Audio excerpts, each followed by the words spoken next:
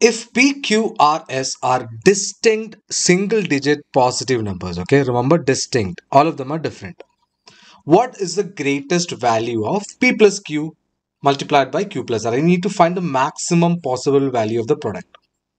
So clearly, if I need to maximize this product, so numbers or the digits you should be the highest possible digits, right?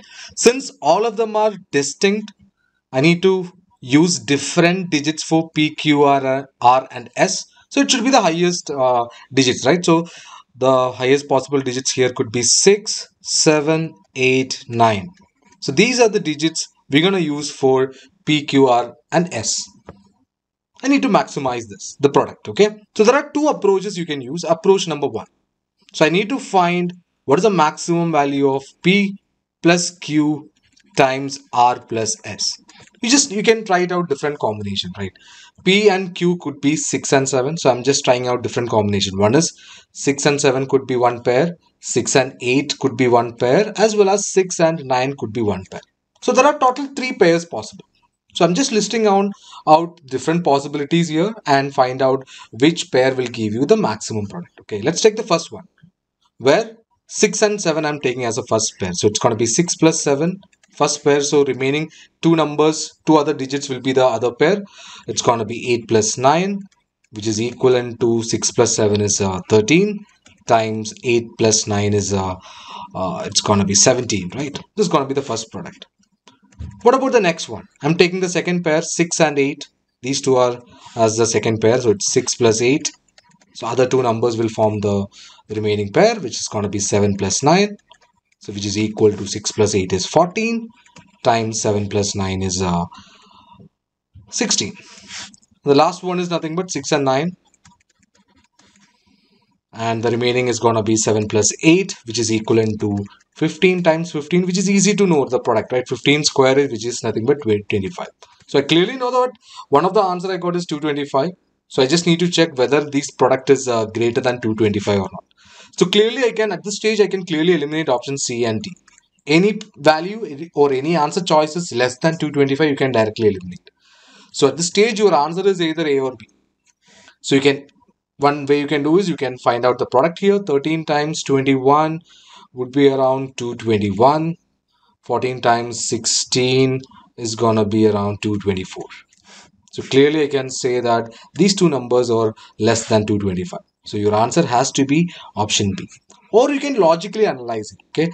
So only one answer choice is above 225 is 230 you can check the unit digit here.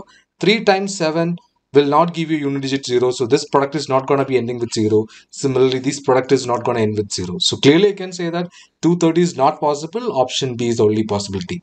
So either way around you can get to the answer. You can use logic as well as uh, your reasoning skills to get to the answer. This is one approach where we list down the different possible scenarios and find out in which scenario you are getting the maximum value of product second approach is nothing but you have a product of two uh, sums here, right? One is P plus Q. You are multiplying by another product, another sum, which is R plus S. So I need to maximize the product here. So remember there is a one rule that you can always use in this case. If a sum is given, I'm taking I'm giving an example. Let's say you have two numbers A plus B. You have two numbers A and B, okay? And the sum is given as 10. Sum is equal to 10. I need to find what are the maximum value of the product? I need to find the maximum value of the product of AB. I need to find what value is going to be the maximum when you multiply A and B. I'm just writing down the different possible scenarios. A and B are positive uh, integers or positive integers, okay? Positive integers. One possibility is uh, I'm taking out different possible scenarios for A and B. One is A is equal to 1. That means B should be 9, right? Because sum is 10. This always should be true. Sum is equal to 10.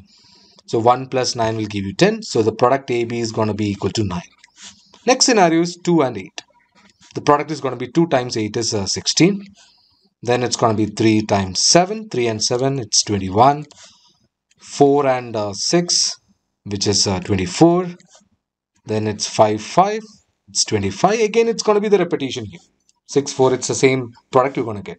So out of this product the maximum is going to be 25 when A and B are equal. right? When A and B are equal. So the property here is if sum is given, let's say sum is equal to 10, the product is maximum if both the values are equal. That means each of them are equal means 10 by 2 is 5 times 5 will give you the max product which is equal to 25. So I'm going to apply this rule here. Here I know that you need to find the maximum value of the two products here.